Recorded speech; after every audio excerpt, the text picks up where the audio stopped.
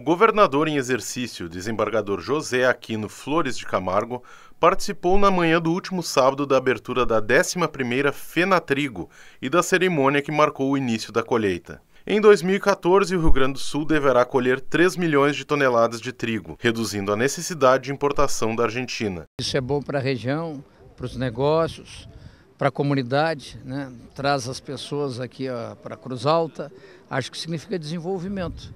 O objetivo principal da feira é trazer para a Cruz Alta a discussão sobre a cadeia do trigo. Entre os problemas enfrentados está o baixo preço do produto, o que pode desestimular os produtores. Hoje o preço R$ 26,00, o preço mínimo é R$ 33,45. Então nem o preço mínimo o produtor está tá conseguindo. Isso a Fenatrigo quer discutir e tentar de alguma forma melhorar a vida do produtor para que ele consiga é, continuar investindo nessa cultura tão importante para o Rio Grande do Sul, tão importante para o Brasil.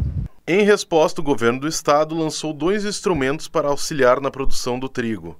Um deles é o acesso a 250 milhões de reais do Banrisul por meio do financiamento de garantia de preço ao produtor.